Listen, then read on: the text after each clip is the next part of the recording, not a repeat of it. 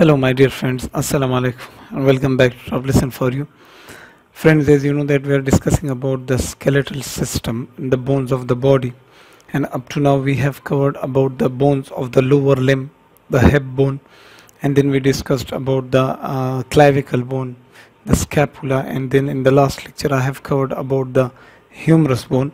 Now here we are going to discuss in this lecture about the two bones which are present in your forearm. That is the uh, radius and ulna bone right? So first of all on the screen you know we have here the radius bone. So let us discuss fastly about the all the external features of this radius bone. As you know that it's a typical long bone it must have a, an upper end a shaft and a lower end. So we will discuss all the features of this bone in detail. Let us focus on the screen. First of all the radius bone you can see here it is located in the lateral compartment of your forearm. So it's uh, first of all it is the bone of upper limb.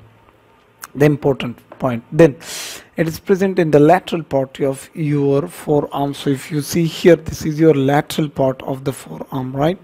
So in this part you can see here is the pollicis right? So here will be in the lateral compartment or in the lateral part of your forearm. There will be your radius bone proximally it makes the humero-radio humero-radial joint we will say with humerus. So if this is your humerus bone right and here is your radius bone this is the capitulum. I had told you in the previous lecture this is the capitulum and this is the humero-radial joint right? So with the capitulum and this is called the capitular fossa in the radius bone the capitular fossa. So in this fossa the capitulum fits and makes the humero-radial joint. So this is its proximal end first of all. Humero-radial joint. Then this is with humerus bone. And proximally with radio-ulnar joint it also forms. So if you have here the ulna bone and this is your radius bone so the head of the humerus bone right will mix with the radial facet or radial notch and they will make a joint here. So this joint will be called as the radio-ulnar joint which is called the proximal radio-ulnar joint right? So this like this and it helps in the pronation and supination of your hand right? So here is the radio-ulnar joint. So the proximal radio-ulnar joint and here in the lower end we also have the distal radio-ulnar joint. I will discuss it later. So proximally it makes two joints with the humerus it makes the humero-radial joint. With the ulna bone it makes the hum radio-ulnar joint right? And distally it makes the carpo-radio-ulnar joint. So distally with the carpal bones with the uh, ulna bone it makes the carpo-radio-ulnar joint or we call it the wrist joint right? Let's know about the side determination of this bone. How to determine either this this radius bone belongs to your right forearm or the left forearm. So how to determine it? Look carefully. I have written some important points. First of all the upper end of this bone is rounded. So if you know nothing about this bone right first of all you should go there and see that the upper end of this bone is a little bit rounded and the lower end is a little bit expanded. You can differentiate. Look i have two bones here right? You can see here the upper end is a little bit rounded the lower end is a little bit expanded. Then the lower end is broad okay? Lateral bone of the forearm. Then the next important point about it is that you should know that this bone belongs to the lateral bone of your forearm. It is lateral part of your forearm. Then the radial tuberosity is medial. You can see here this bone has a very little rough part in the proximal end of it so this is called radial tuberosity. I will discuss it. This radial tuberosity should be kept medially right? Should be kept medially like this right? And then the sharpest border is medial. So you can see here it has some borders. The shaft of this bone has some borders. So this is the sharpest border right? Here you can see this is very sharp and these are not sharp borders so this border should be kept medially okay? For, uh, what are those important points that will help you to recognize the bone is the right bone or the left bone? The radial tuberosity should be kept medially. The sharpest border should be kept medially. And the tubercle of Lister should be kept posteriorly. And here in the lower end you have this tubercle.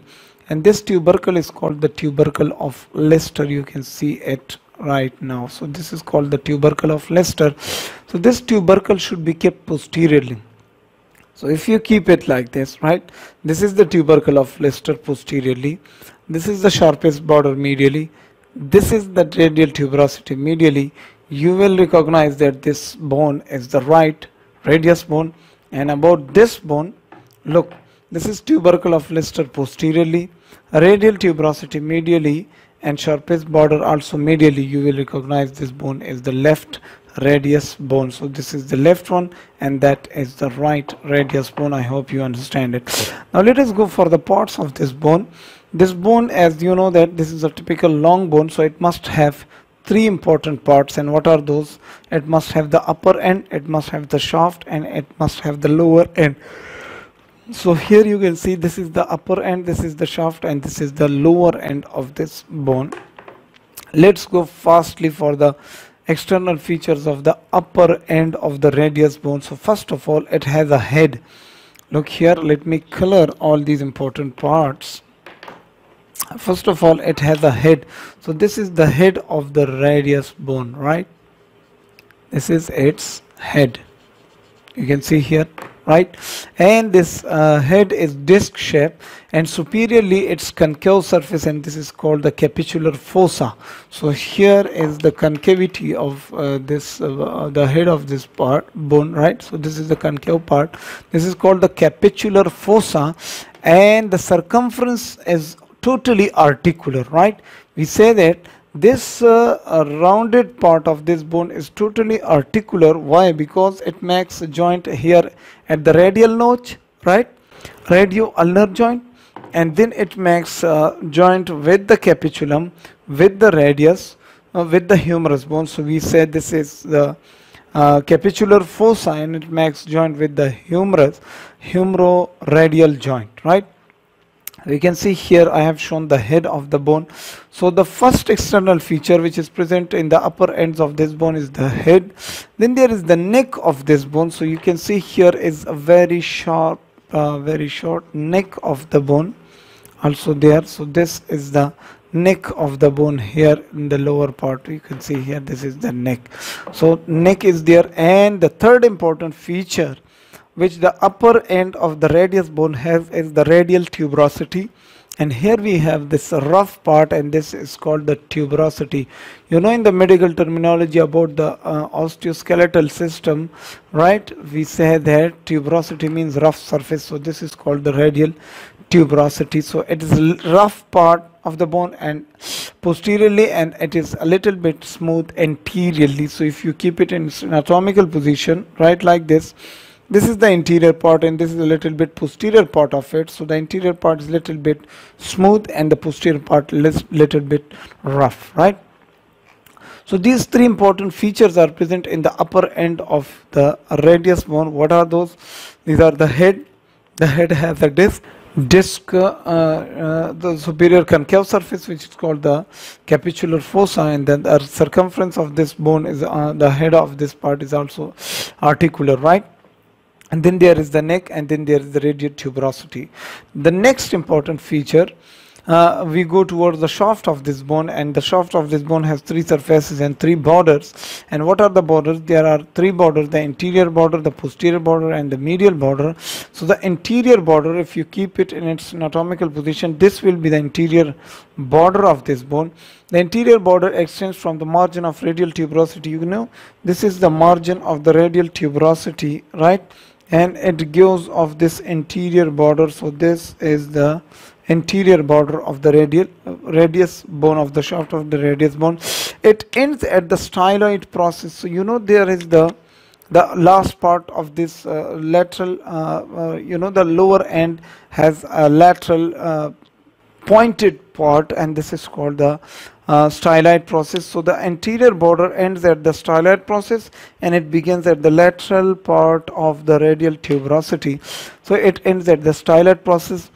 It is oblique in its upper half called the oblique line. So you can see here it's a little bit oblique right going a little bit towards the lateral side begins at the medial side and goes towards the lateral side so it's a little bit oblique in nature and vertical in the lower half so you know this is totally vertical in the lower half so I have written the interior border extends from the interior margin of the radial tuberosity and ends at the styloid processes and upper half is oblique called oblique line and lower half is totally vertical right.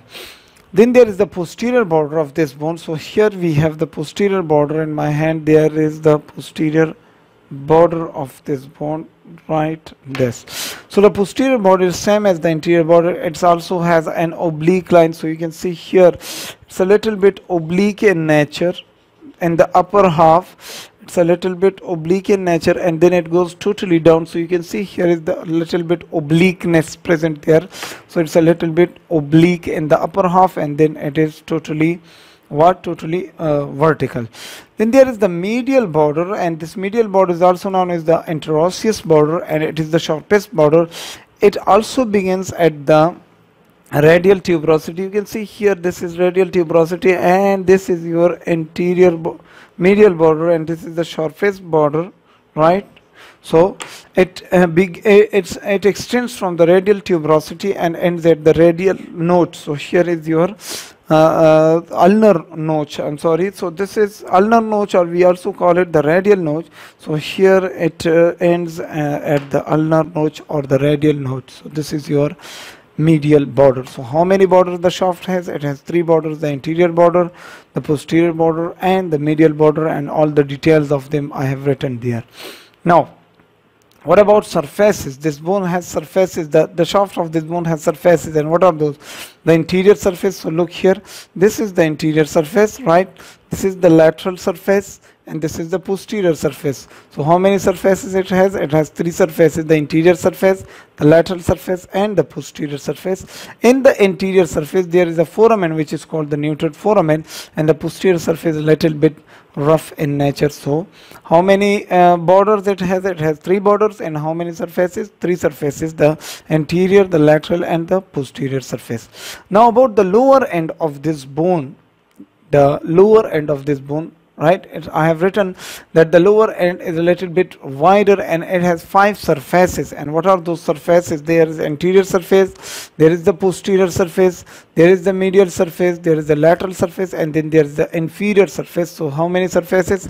Anterior posterior lateral medial and inferior surface. It has three surfaces. Let us go for the detail of the surfaces of the lower end of this radius bone First, there is the interior surface. So you can see here, this is the interior surface of this bone. It's very smooth in nature, right? So this is interior surface. Then there is the posterior surface. So you see here, this is the posterior surface. So posterior surface is a little bit rough and it has some grooves in it. So you can see here, this is a groove, there's another groove and here's another groove. So there are five grooves present in the posterior surface. And then there is a tubercle, which is called the tubercle of Lister. So you can see here we have also mentioned a tubercle of Lister and this is the tubercle of Lister. I will show you there. So this is tubercle of Lister. You can see it here right Okay, so the interior surface is smooth, the posterior surface has four grooves and it has a tubercle which is called tubercle of Lister. Then there is a medial surface and medial surface has an ulnar notch in it. So you can see this is the radius bone and this is the ulnar bone. So this, uh, uh, the medial surface of this radius bone there you can see it has the ulnar notch in it so here is your ulnar notch my dear friends. So this is the medial surface. Why? Because this uh, bone is present in the medial compartment right? So that's why we say this this part is called the ulnar notch present there and then there is a lateral surface and this lateral surface has the important feature which is called the styloid process. You can see I have shown it with green color there and I will show it again here also with green color. So this is the styloid process in the lateral part or in the lateral surface of this bone styloid process. And then there is inferior surface. So the inferior surface is triangular area and quadrangular area. So you can see here is the quadrangular area and this is the triangular area. It forms the wrist joint. So the inferior surface is divided into two areas the triangular area which is little bit medially and uh, uh, yeah medially and the quadrangular area which is present which is uh, located uh, laterally right and it forms the rest joint. So friends this was about the radius bone. Now in the next lecture we will discuss about the ulna bone and all the external features of the ulna bone also so friends.